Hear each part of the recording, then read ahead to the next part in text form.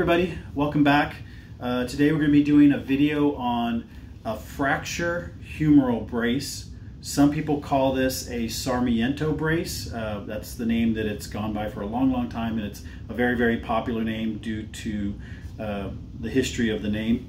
When it comes out of the package, it'll come out of the package looking something like this. It'll have the strap that goes around the shoulder and the chest tucked into it. And We'll go ahead and remove this out of the way for the moment just so I can show you the rest of this. Then it'll have the two straps that'll go around the upper arm. This of course is the cuff that'll go around the shoulder, the shoulder area, which we'll talk about in a few moments. And when you undo the straps, you want to undo the straps so that they come all the way out of this first loop right here. I'll come in close so you can see the loop. There you go. And the reason you want to take these all the way out of that first loop is because you're going to open this up and you're going to measure this up against the good arm, the arm that's not fractured, the humerus that's not fractured. You're going to you're going to do your extending and you're measuring out of this around the good arm before you go and approach the uh, the fractured arm, the injured arm, if you will. And then we're going to apply it, and I'll show you how this works as well. Sometimes when this is in the package, tucked in, tucked in with the with the strap, the extra strap there, will also be a stockinette or a sock of some sort, uh, which you can place underneath for comfort. And a lot of these also come with a little makeshift sling that velcros around the shoulder and, and like that. Uh, or if you prefer, a lot of the patients I have found that that little the little strap that acts as a sling is fine, but I have found that a lot of patients just prefer the standard sling for comfort reasons if you're going to be wearing it uh, all day long. Um, if it does not come with one of those little uh, stockinette or, or hoses for the upper arm, you can make your own by getting the standard stockinette that you would have in a, inside under a cast. You get your stockinette, uh, measure it to length, of course. You want to have a little extra. And then what I like to do is I like to go about a third of the way up, right about here. And I like to cut about maybe a half inch in, half inch to an inch in like so. And then I like to do this. This is, this is really cool right here. It's a cool little trick. And I'll show you what this is all about here in a few minutes. But what you're basically doing is you're cutting about a half inch up, excuse me, excuse me, a half inch in and all the way up to the top. So that when you're done cutting, it should look like that. And you'll see why here in a moment. I'm gonna bring a, I'm gonna bring a patient in to, uh, to show you how we're gonna do this. So we're going to pause right there in just a second and we'll go ahead and start applying the, the humeral fractional brace. Okay, so we've gone ahead and grabbed a hold of a patient here to demonstrate this for you.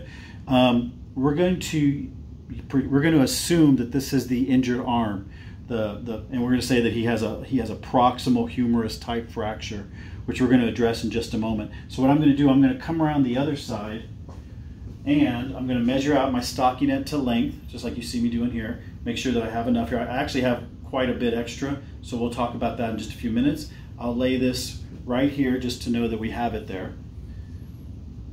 And then we're going to use the good arm, like we talked about a second ago, we're going to use the good arm to measure the spacing between the four panels that are here.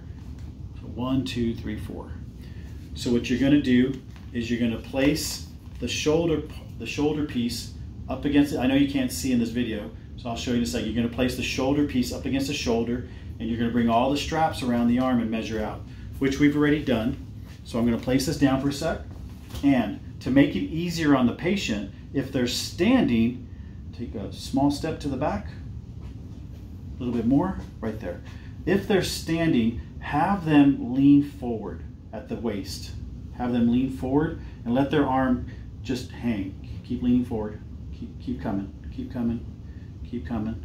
Right about there. And you'll notice the arm is starting to hang away from the actual torso. And this is going to be much, much more comfortable for the patient as you're applying everything. If they are very, very adamant about leaving their sleeve down, you can do that, or you can cut the sleeve away. Or if they've come in presenting with like a hospital gown or whatnot, or a tank top, you take the, the, the strip that you cut of stockinette, you slide it up the arm, take your time because of course they're broken. You're gonna take the taller piece to the outside and the, the shorter end under the armpit, under the axillary space. So it's going to present something to this effect. Just like so. And that way they'll have a nice soft stockinette between the flesh, in his case the flesh and the, the t-shirt sleeve, and the actual brace, which I'm going to grab now. You take the brace, and we've already measured it out on the good arm.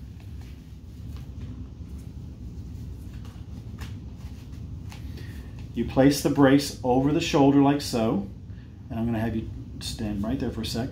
You can see the four panels. You lay it on like so, and because you have, if it starts to bother them as you're applying the brace, have them lean forward more. Have them lean forward. It takes the arm away from the torso, and you can bring the other two panels up under the arm. Turn this way a little bit so they can see. You can, right there, there you go. You can see how the other two panels come, you can bring them in, and that way you're not you're not rubbing against the torso. So then, if I might borrow your good hand to hold that panel right there for me, just like so. Thank you, sir. Then you're to take the straps. This is this is your extra strap we're to talk about in a minute. You take the two shorter straps. You run it through the buckle that we removed earlier. You bring it in about medium tight, not too too tight, just medium and snug. Go ahead and let go, I got you. And you're gonna bring this around, you're gonna Velcro it, and you're gonna do the same thing with the bottom strap. You're gonna take the bottom strap, run it through the buckle. This will offer support of the humerus fracture while they're healing. And if you wouldn't mind, stay right there for just a sec so we can get a good view of that.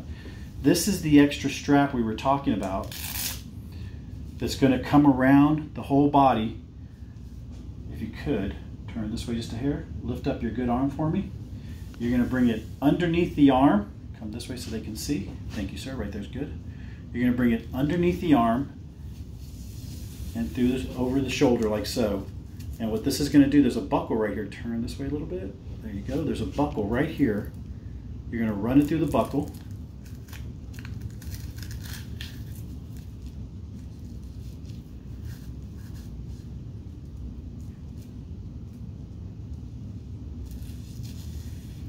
That. Fix that. There you go.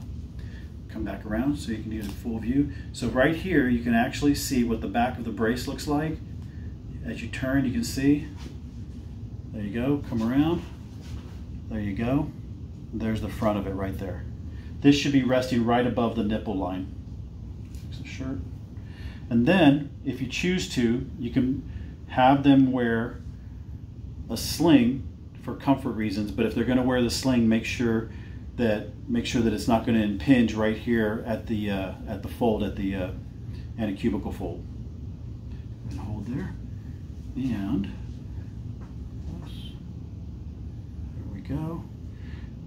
And that is a humeral fracture brace slash Sarmiento brace. Thank you very much for watching.